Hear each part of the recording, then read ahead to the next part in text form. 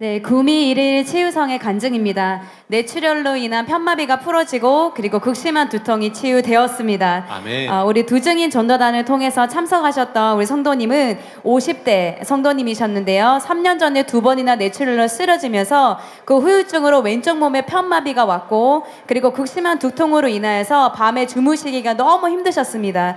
어, 병원에서 혈관 치료를 받았지만 아무런 호전이 없었습니다. 그런데 집회 참석하셔서 차- 치유 사역을 받으신 이후에 어, 극심했던 편두통이 완전히 사라졌고요. 할렐루야. 또한 팔의 마비가 풀어져서 귀까지 팔을 자유자재로 움직일 수 있도록 호전되었고 그리고 왼쪽의 편마비가 풀어져서 오실 때 가져왔던 지팡이 없이도 자유자재로 걷게 되셨습니다.